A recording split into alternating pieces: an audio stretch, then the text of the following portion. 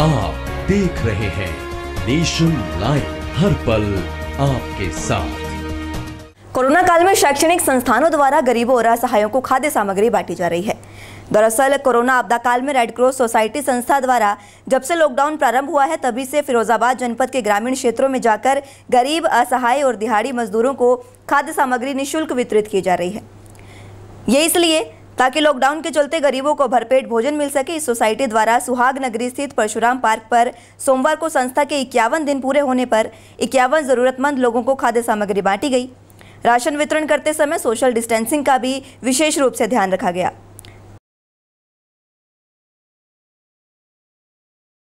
जिस तरह की हम कह सकते हैं, वैश्विक महामारी है कोविड 19 और इस दौरान जो हमारा लॉकडाउन रहा पूरे देश भर में आज हमारे बीच भारतीय रेड क्रॉस सोसाइटी है जो एक ब्लड ग्रुप भी चलाते हैं डोनेशन के लिए।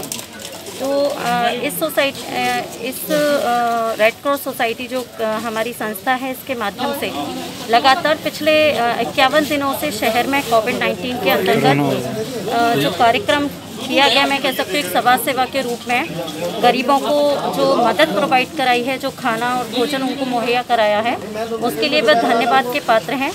आज इनका इक्यावन दिन का जो समय है वो पूर्ण हुआ है। आज इस दिन पर इन्होंने इक्यावन लोगों को राशन वितरित कराने का काम किया है। बहुत ही अच्छी पहल है। मैं रेड क्रॉस सोसाइटी द्वारा देश में जब से लॉकडाउन लागू हुआ है, तब से निरंतर असहाय निराश्रित लोग हैं और प्रवासी मजदूर हैं। उनकी निरंतर भोजन वगैरह की सेवा और उनको खाद्य सामग्री वगैरह, खाद्य सामग्री वगैरह निरंतर उनको आपूर्ति की जा रही है। लगभग ढाई सौ से तीन सौ लोगों को हम प्रतिदिन निःशुल्क भोजन कराते हैं और उनके स्थान पर जाकर और प्रतिदिन जो असहाय परिवार हैं, उनको चिन्हित करके उनके घर पर खुद राशन सामग्री पहुंचाते हैं। आज आज हमारा इक्यावनवा दिन था तो आज हमने इक्यावन लोगों को चिन्हित करके उन लोगों को आज पूरी खाद्य सामग्री पंद्रह दिन की उनको मुहैया करा रहे हैं।